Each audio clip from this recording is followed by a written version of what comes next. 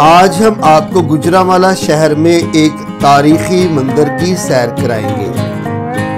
ये गुजरावाला में मछली मंडी के बीचों बीच वाक़ है। मंदिर के एक तरफ़ महाराजा रंजीत सिंह की हवेली है, जो उनकी जाए पैदाइश है, जबकि दूसरी तरफ़ साथ ही हरी सिंह नलवा की हवेली है। हरी सिंह नलवा महाराजा रंजीत सिंह के सीनियर जर्नैल थे।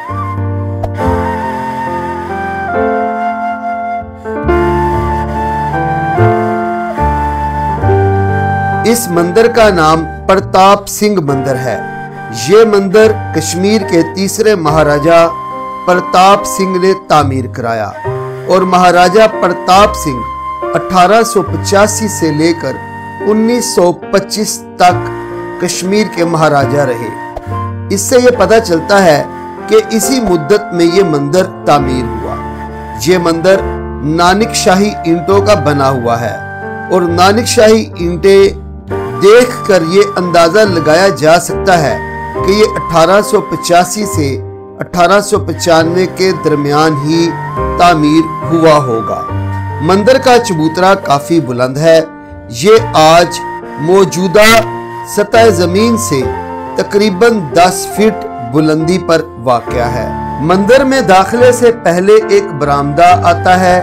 बरामदा खालस सिख आर्किटेक्चर की उम्दा मिसाल है।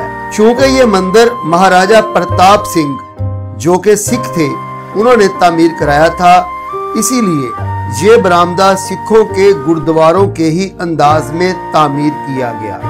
बरामदे से अंदर मंदिर में दाखिल हो तो सामने बड़ा अस्थान है, जहाँ बड़ी मूर्ति रखी जाती थी। बड़े अस्थान के साथ दाएँ बाएँ छोटे बड़े स्थान हैं। रोशनी के लिए खूबसूरत रोशनदान है।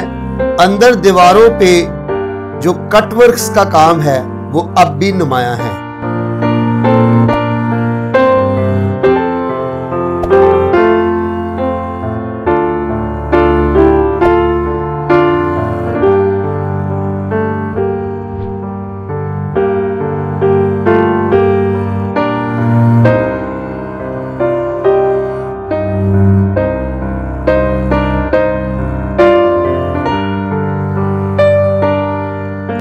दरवाज़ा अभी तक अपनी असली हालत में मौजूद है। रोशनी के लिए अंदर खूबसूरत रोशनदान है।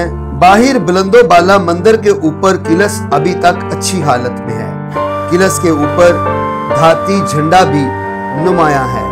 बाहर की दीवारों पर नक्शो नगार अगरचा खराब हो चुके हैं, मगर कहीं कहीं शेर बने हुए नज़र आ जाते हैं।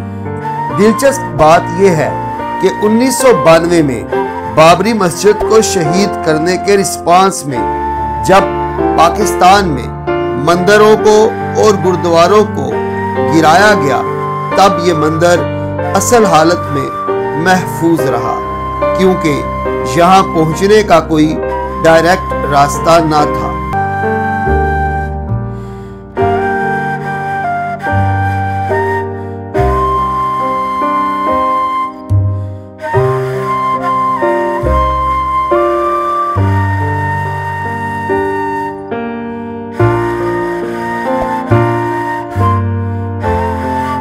ये निजी इमारत के अंदर मौजूद है और इस वक्त यहाँ इमाम बारगाह कायम है और इस्तेहान की जगह तशैयों के मुकदसात मौजूद हैं, जहाँ फूल चढ़ाए जाते हैं और चरागा किया जाता है। अगर आपको हमारी ये वीडियो पसंद आई है तो हमारे चैनल को सब्सक्राइब कर दीजिए अपना और अपने प्यारों का ख्याल रखिएगा। अल्लाह हाफिज़।